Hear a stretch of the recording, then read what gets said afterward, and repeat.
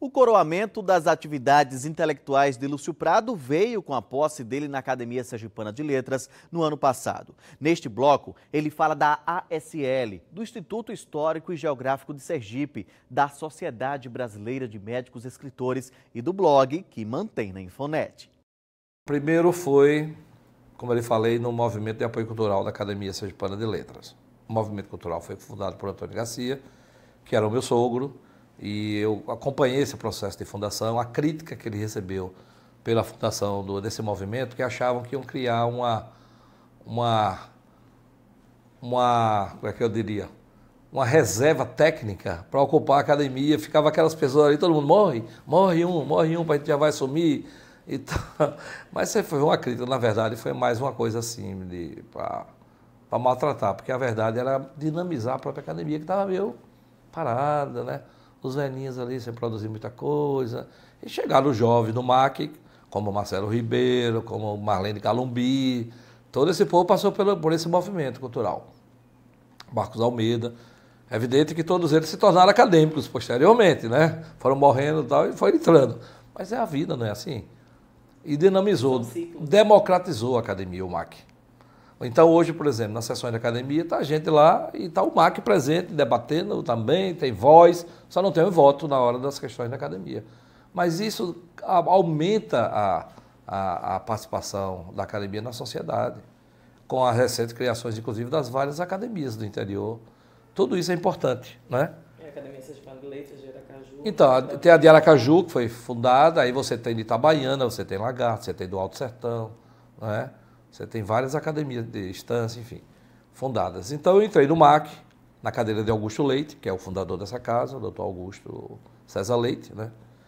Depois do MAC, então com dois anos depois do MAC, surgiu uma vaga na academia de letras, eu assumi. Lá numa disputa danada, porque o meu concorrente era do ramo, né? Doutor Saracura, danado, escritor, muito livro publicado, excelente escritor, recomendo inclusive os livros dele. Não foi fácil, não. Foi uma, uma, disputa, mas foi uma disputa franca, leal. Eu consegui êxito. Né? Logo depois ele entrou na vaga seguinte, né? o Saracura, que é um nome que engrandece também a nossa Academia de Letras. É, escrevi o dicionário biográfico, é uma obra inédita nacionalmente. Essa, essa dicionário está nas melhores bibliotecas das universidades, inclusive no mundo ela está distribuída também. Nós temos uma rede de distribuição que serve de referência. Né? O Instituto Histórico também foi um passo praticamente automático. Meu pai era do Instituto Histórico também, e eu sou membro associado do Instituto Histórico. Sempre quando posso também estou lá nas sessões, é, hoje comandada pelo vibrante professor intelectual, escritor Samuel Albuquerque. Né?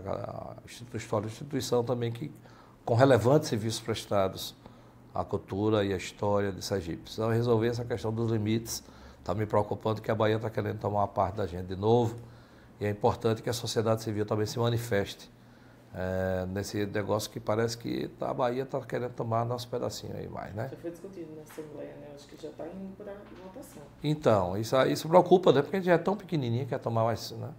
mais um pedacinho da gente. Isso é uma questão que o Instituto Histórico vai ter que também levantar essa questão, essa polêmica. Então, essa participação é importante. Eu tenho participação também na parte artística da música, eu gosto de, de, participar. E não esquecemos da coisa mais importante de falar, meu bem, foi o Sobrames, Sim. que é a entidade que eu comando hoje, né?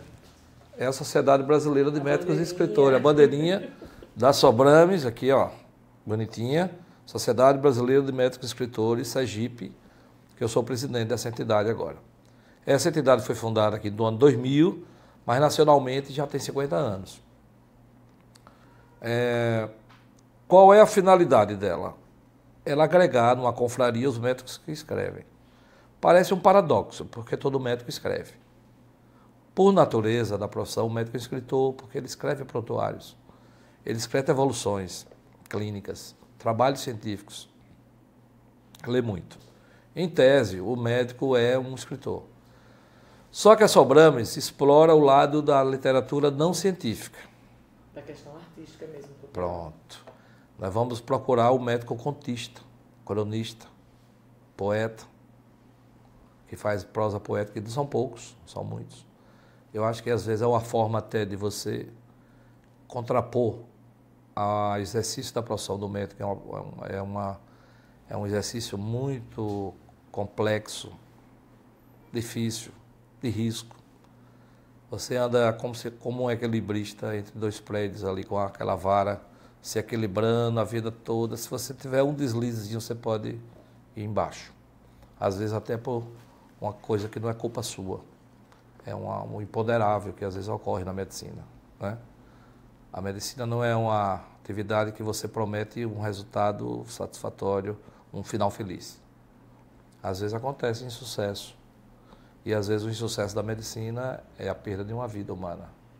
Então o médico anda muito numa linha tênue, né? tanto que a, o número de suicídios entre médicos é grande, entre estudantes de medicina é grande.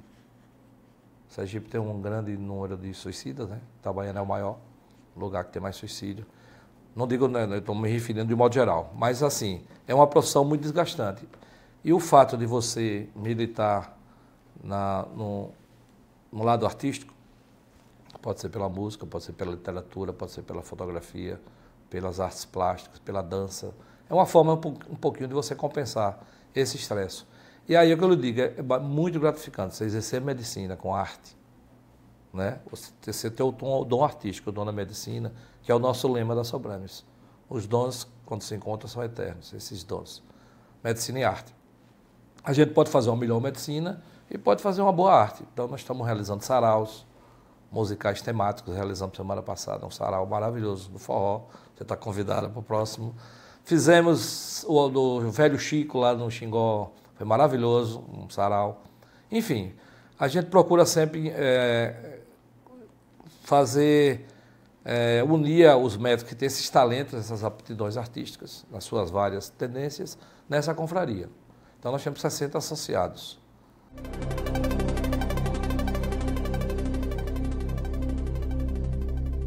Então, eu estava com uma série de artigos, né, sem, sem publicar, quando surgiu o convite. Logo quando a Infonet montou um portal e montou um grupo de blog, eu recebi o convite para fazer. Tal. Eu, eu, confesso que eu fiquei um pouquinho preguiçoso de um tempo para cá. Eu não estou com mais aquela regularidade de, de escrever, né? Em função também, ser muita coisa. Mas agora mesmo, eu teve essa homenagem a Dr. Ranulfo, eu escrevi um artigo. A Academia Nacional de Medicina fez 188 anos, é a mais antiga instituição do Brasil. A Academia Nacional de Medicina fica no Rio de Janeiro. Ela começou como Academia Imperial de Medicina.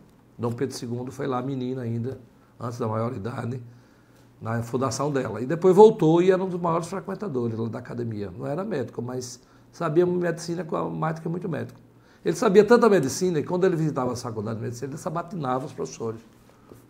Dom Pedro II, você acredita nisso? É verdade. Então, Dom Pedro II tem uma cultura grande, vasta, né? uma, pessoa impressionante, inclusive em outras áreas, fotografia e tudo. E aí, é, eu estava falando da Academia Nacional de Medicina e fiz um artigo. Que eu digo, esse artigo, vou fazer o que com ele aqui? Aí me lembrei que no portal, aí publiquei no portal, você disse, oh, nunca mais, doutor, escreveu aqui uma coisa. Mas está lá, tem muitos artigos, né? Muito, desde 2006, parece, 2005. E eles, a Infonet é bem organizadazinha, eles têm lá bem arquivado por página, por data.